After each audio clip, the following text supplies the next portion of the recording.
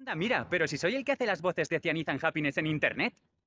Que lo hago de puta madre. Lo haces de puta madre, tío. Sigue así, que tienes un futuro increíble.